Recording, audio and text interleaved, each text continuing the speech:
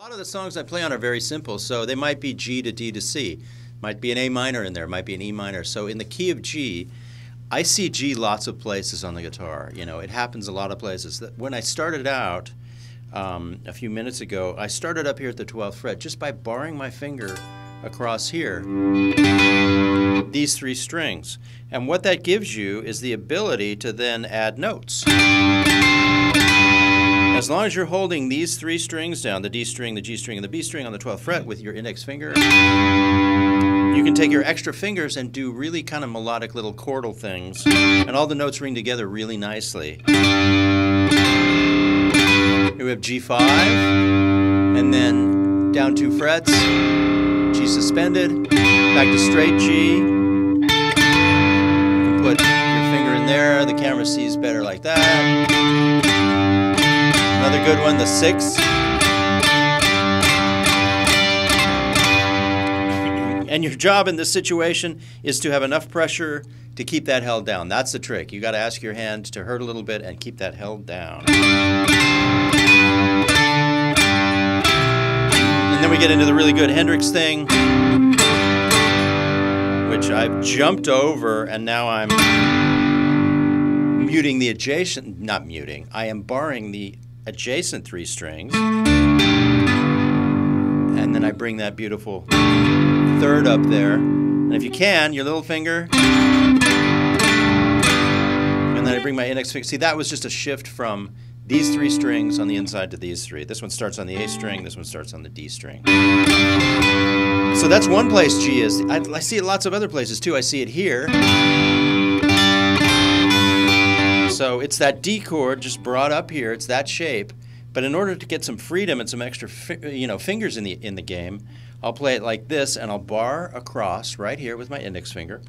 So I'm barring on the that's the seventh fret, and then I form the chord with my second finger, and then I do the G sus here. I mash it down and do a bar. That G2 is a really good one. That's just two notes. So the idea is to make music out of it, and I'll try and demonstrate that.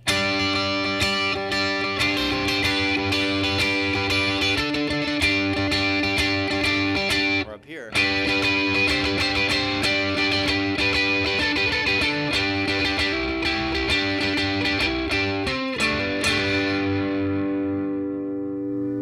So that's not the the that's not your uh, friendly neighborhood beginner G chord now, was it? Not no, no, it isn't. But it its origins are friendly and simple. I mean, oh yeah. I have a question. So that was uh, those two little spots that you were doing. Those are both right. Yeah. You're thinking of that as G major. Yeah. Let's just let's uh, let's do that, but then add a chord. Let's add D major, and so then show where those two zones are, and then maybe you can do something together. That's a really good one. We'll we'll do it here because this is this is a good spot for it. So we have okay. this G chord right here. All we have to do is jump with our index finger and bar here, much like we did up here. It's just down here. So here's our first G chord. And we take our index finger on these three strings. It's the D, the G, and the B string. And now we have a basic, an anchor for playing in D. So if the chords of the song are G to D, I can go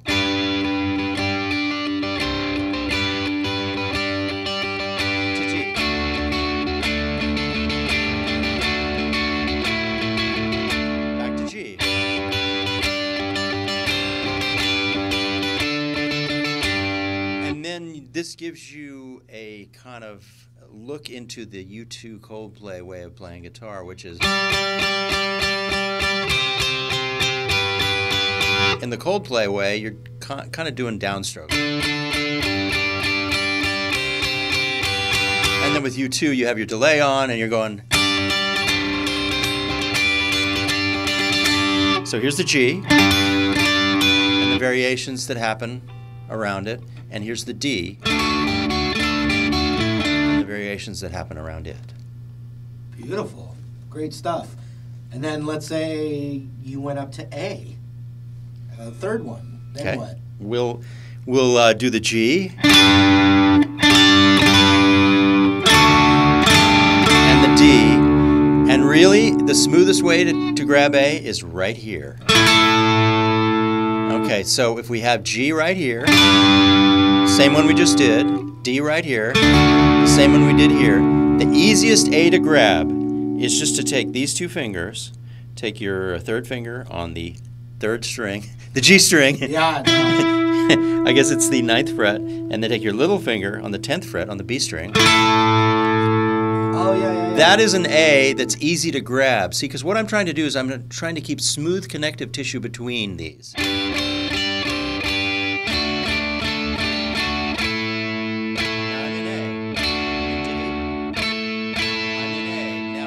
You've landed there, it's pretty hard to go up here to these upper strings, but if you're. That one's a little hard, but you can go down.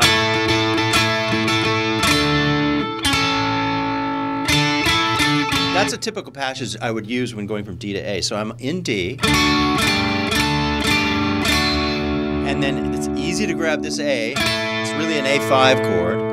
And then I switch to two strings rather than three. Ah, that's a sweet. That's a U2.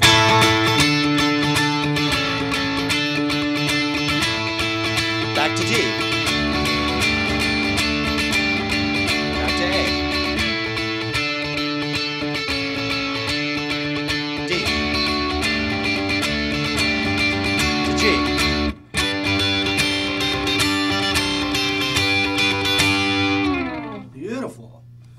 I. Love when I get something. You know, I, I'm getting some info here. and it happens all you know all over the neck. You know, there's G here,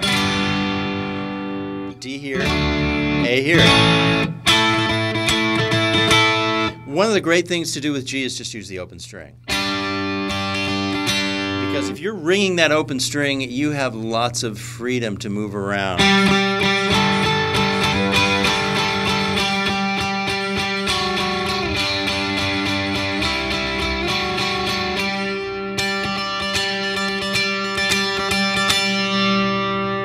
Same with the D. Open D string.